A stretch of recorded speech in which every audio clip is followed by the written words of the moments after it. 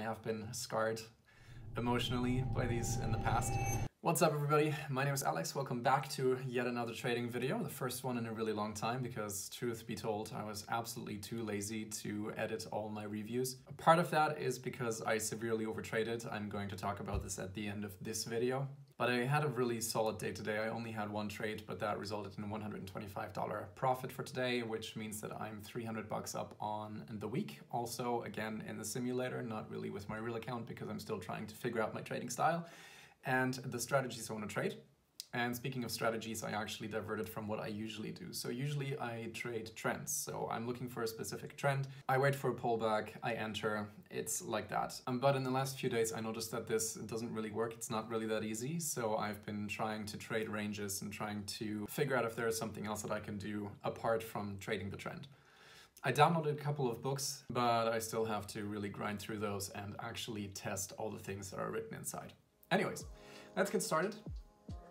I already drew all the trend lines here, so there was a trend tunnel that I saw here, but it didn't really hold up as you will see.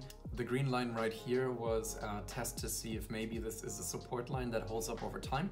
It wasn't really all that accurate, it kind of just gave me an idea of what to maybe expect and as you can see we broke the trend tunnel right here and we entered into this really choppy area. Now these choppy areas I don't really have a stable relationship with. I have been scarred emotionally by these in the past but I'm trying to rekindle somewhat of a friendship with these things. So that's what I tried trading today. Basically, what I was thinking to myself is that if we do trade in these ranges, then maybe I just buy at the lower side of this range and sell higher. I remember I said before that that's um, not a very safe strategy to follow, and it still isn't, in my opinion, but I just wanted to try it out today. Okay, so I put a buy limit order at the lower end of this range because I saw that there was a certain level that the price action didn't go below and I wanted to take advantage of that. So my stop loss is usually two points below my entry and the low of a previous candle here was really just one point difference so I felt pretty good about it. I moved it up a little bit um, because the price action didn't really come back down to that um, previous low, which is actually a really good sign, or at least for me it was at the time. And then eventually the order does get filled.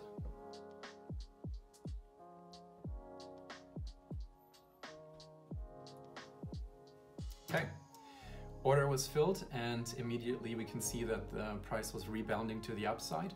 And as I said, my stop loss is actually below the of this candle right here. Theoretically speaking, I could have moved it up to this candle, but I didn't really feel like it because I felt safe enough in the price action moving upwards. And just took a couple of seconds and we see target number one was filled. And the second target was a little bit too high up, I think. I mean, it kind of made it there, but at some point I just called it and sold right there because I do want to protect my profits. Um, if I had not taken this trade right there, it would have actually stopped out at my new stop loss and I would have walked out at like um, $62.50 profit. So that's about half of what I made. So again, I like to protect my profits. I like to protect my money rather than chasing more profit. So price action continued. We actually see that we did move up and we um, broke yesterday's high, which is pretty good and I just wanted to see now if this really is a trend. So what I'm looking at is number one, here we have a double top, actually not a good sign. I really don't like trading those. Um, and now I want to see, does the price action go below the previous green candle or do we find support at this line and move higher up? So I got my order in above the high of this red candle thinking that maybe it would go up nicely. Especially here because we can see that this is actually a pretty bullish bar.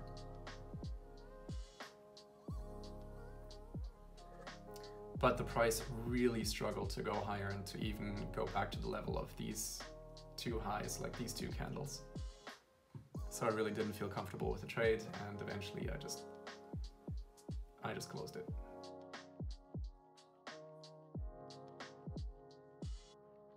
But nonetheless it actually showed that we did find some level of support not really a support level that I would feel comfortable trading, but we did nonetheless find support and moved higher. And eventually we came back down to test this support level again. And what can I say? The support actually held up. We had a one, two, three, so we had a triple bottom, which is pretty good. And this would have actually been a really nice entry above this red candle right here, but I wasn't uh, fast enough and I also didn't feel too comfortable about it, even though we had really good confluence. Yeah, price meta level just moved up. That would have actually been a really nice trade.